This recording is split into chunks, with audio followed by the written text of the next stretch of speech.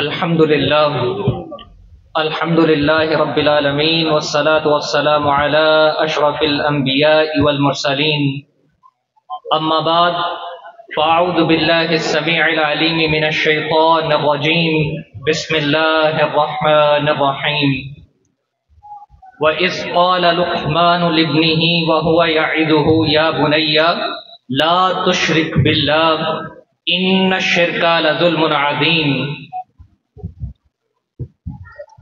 सही मुस्लिम की एक रिवायत है। हज़रत अबू हुरैरा रज़ी अल्लाह रिवायत करते हैं कि एक दिन मैं कुछ सहाबा के साथ अल्लाह के नबी सल्लल्लाहु अलैहि वसल्लम की खिदमत में हाजिर हुआ। हम कुछ देर बैठे, गुफ्तगु की बातें हुई।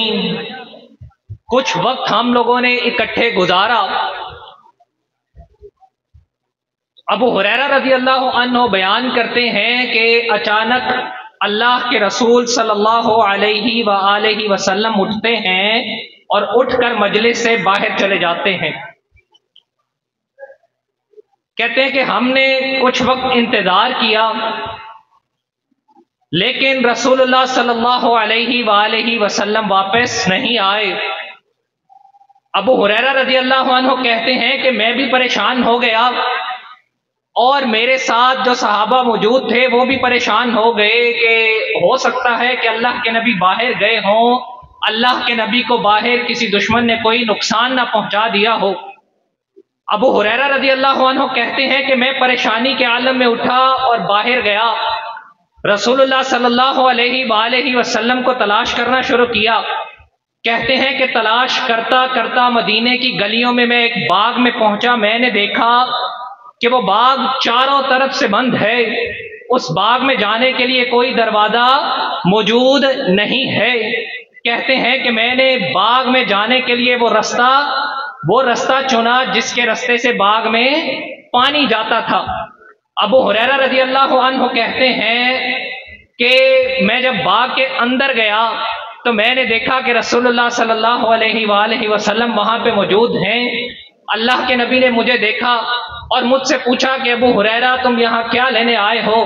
तो अबू हुरैरा रज़ी अल्लाह ने जवाब दिया कि, अल्लाह के नबी, मैं आपकी तलाश में यहाँ पे आया हूँ।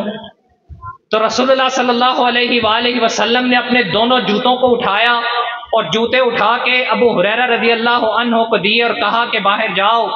फरमाया, इजहब बिना अलैया हातैनी, फमन लकीत मिन वराई हादल हाइत यशहदु अल्ला इलाहा इल्लल्लाह मुस्तकीनन बिहा क़ल्बुहु फबश्शिरहु बिल जन्नह रसूलुल्लाह सल्लल्लाहु अलैहि वसल्लम ने अबू हुरैरा रज़ी अल्लाह अन्हो से कहा कि मेरे ये दोनों जूते ले जाओ, बाग से बाहर चले जाओ और जब तुम बाग से बाहर पहुंचो जो बाग से बाहर पहला शख्स तुम्हें मिले और वो दिल के यकीन के साथ इस बात की गवाही देता हो मुस्तकीन बिहा कल्बहु पबशर हो बिल जन्ना जो दिल के यकीन के साथ ला इलाहा की गवाही देता हो तो उसको जन्नत की पबशर हो बिल जन्ना उसे जन्नत की बशारत सुना देना।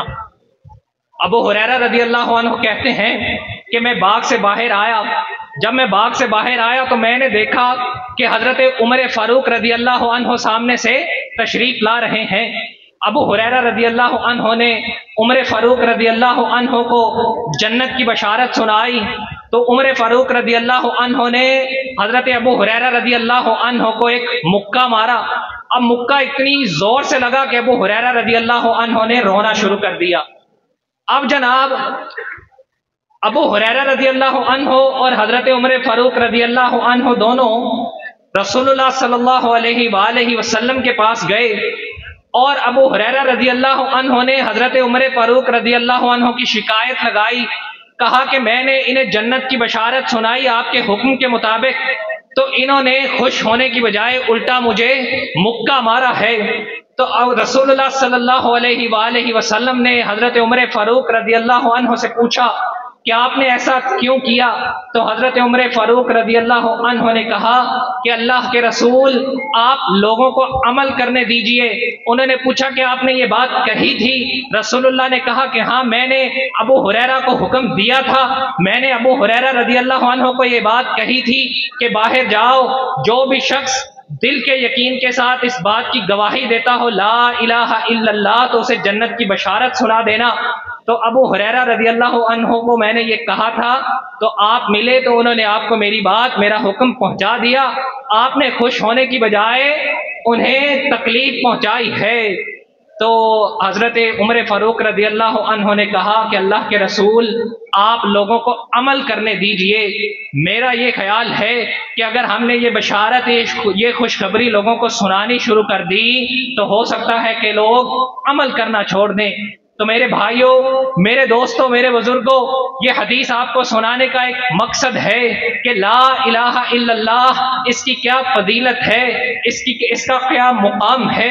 मेरे सहाबा रज़ी मेरे सहाबा और रसूलुल्लाह सल्लल्लाहु अलैहि वसल्लम के दरमियान और सहाबा और अहले बैत के दरमियान जो रिश्ता कायम था, वो किस के ऊपर कायम था? वो सिर्फ़ इस एक जुमले की बुनियाद पे कायम था और वह जुमला क्या था? ला इलाहा इल्लल्लाह।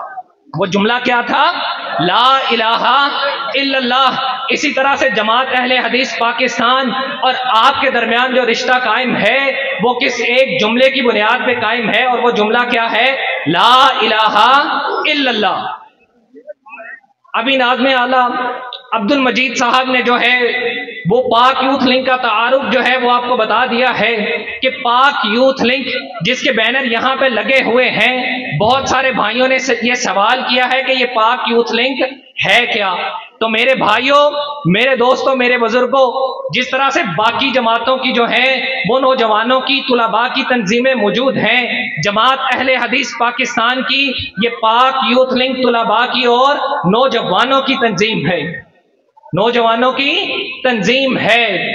और मेरा और इस तंजीम का नौजवानों के साथ रिश्ता किस बात के ऊपर कायम होगा, किस बात की बुनियाद पे कायम होगा, और वो बात क्या होगी? ला इलाहा इल्लल्लाह।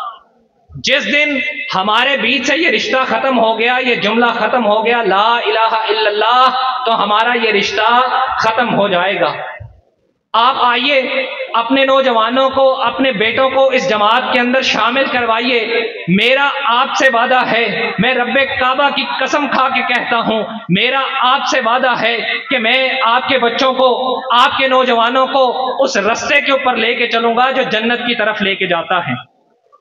और इनशाला जिस तरह से नादम आला जमात, अहले हदीस मोहम्मद सुलेमान शाकिर साहब कह रहे थे कि आप आइए अपने घर से एक एक दो नौजवानों को, अपने घर से, अपने बेटों से एक एक या दो दो को इस जामिया के अंदर दाखिल करवाइए, ताकि वो यहाँ पे रह के दीन की तालीम हासिल कर सकें। और क़यामत तक ये जो ला इलाहा इल्लल्लाह, इसकी गर्दान जो है, वो जारी रहे। इसी तरह से आपके जो बच्चे स्कूलों में जाते हैं, कॉलेजेस में जाते हैं, या मदारस के अंदर पढ़ते हैं, आइए उसको, उन बच्चों को हमारी इस जमात के अंदर शामिल करवाइए।